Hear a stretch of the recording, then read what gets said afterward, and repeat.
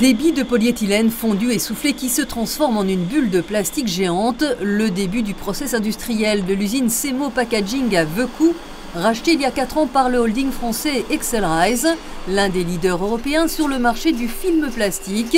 Vecou est spécialisé dans l'emballage des produits d'hygiène, produits féminins, couches et coton. Le groupe a investi 1 500 000 euros, notamment dans deux robots.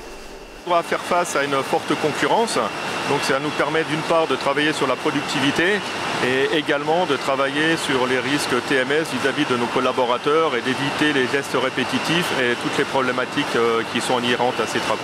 Deux autres robots sont à venir, pour autant pas de réduction de personnel. 135 personnes travaillent sur ce site avec l'objectif de parvenir à 200 d'ici 5 ans. L'entreprise mise sur la formation de ses collaborateurs. On connaît un peu la, philosophie de l'utilisation des robots, c'est diminution du personnel.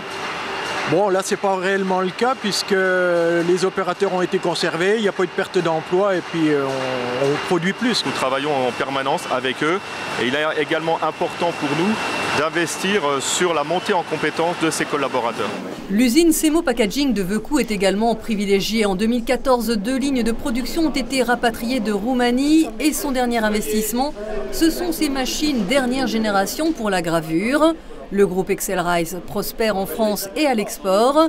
Une réussite pour l'usine de Vecou qui était au bord du dépôt de bilan avant son rachat et qui affiche aujourd'hui 22 millions d'euros de chiffre d'affaires.